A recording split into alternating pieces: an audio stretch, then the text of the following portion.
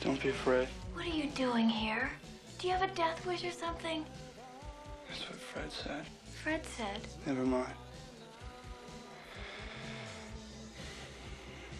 You live around here?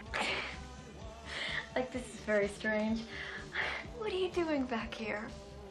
I forgot my comb. Really now? Well, to tell you the truth, I kind of thought that maybe you and I We could what? we could get out of here. Like, I don't think you'd be any more welcome down there right now. I mean, let's leave the party. I'm so sure. Kill. I'll meet you out front. Wait a minute. Where are we gonna go? I don't care. What are we gonna do? Okay, but I have to bring my best friend. That's fine. I'll be waiting for you.